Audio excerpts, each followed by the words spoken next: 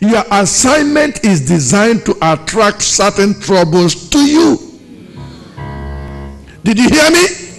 Your calling, the plan and the destiny of God attached to your life qualify you to have certain complex matters attack you that you have no way to explain.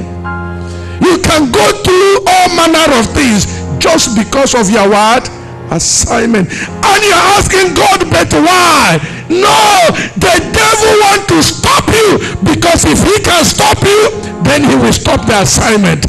But i made up my mind i am unstoppable. I don't know whom i'm preaching to. I declare i am unstoppable. I refuse to be stopped. I cannot be stopped. I made up my mind the Lord is with me. I cannot be stopped in this game.